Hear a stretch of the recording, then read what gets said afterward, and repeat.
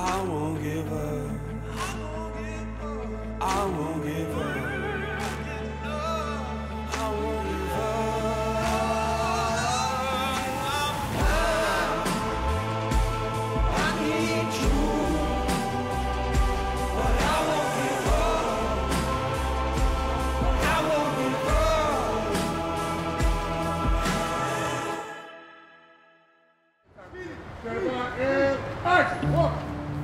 We are creating commercials in order to really get the word out there, to represent AT&T Believes program. We've been capturing footage in Chicago, Dallas, and Atlanta. The filming is genuine, it's authentic, things that are actually happening in these cities. We do believe. We believe that there is something greater. This city and its people are worth understanding. There's so many kids who face the day when the day isn't going to be fair, and they do it with humor and strength and resilience. It's why I want to keep doing what I'm doing. You can always find people in this day and time in a bad spiritual condition, right, and need some upliftment. And so I try to be there for them to give that.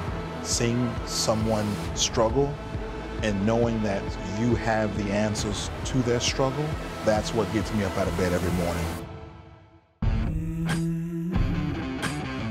There's so many different factors why people become homeless.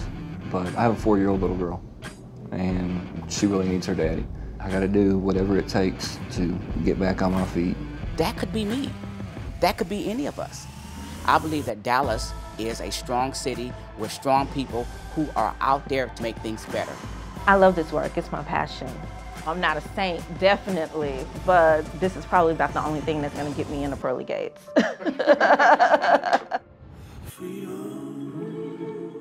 Don't know if people really understand how bad some of these kids have it, and their stories aren't told.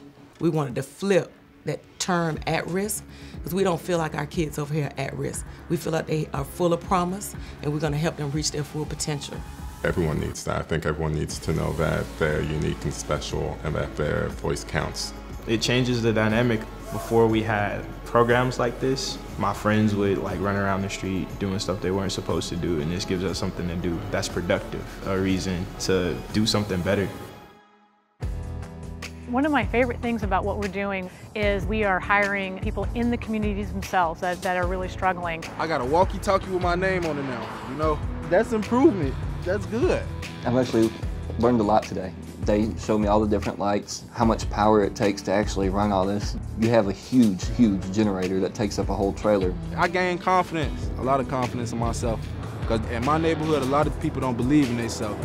They believe what other people believe about them. I believe in myself now, for real. It actually means a lot that there's people out there willing to help. Don't give up now.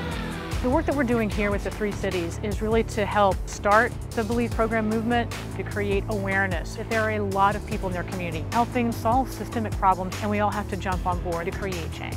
Community is faced with a lot of issues, and anybody that's willing to stand with the community through them issues, I mean, they my heroes. It takes a lot of teamwork and a lot of dedicated people to make things like this happen. We should do whatever we can to make wherever we are better. It's about helping people.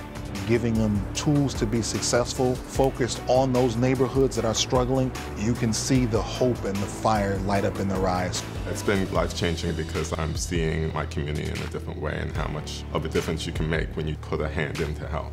In order to have strong cities and strong communities, you have to, you know, believe in it.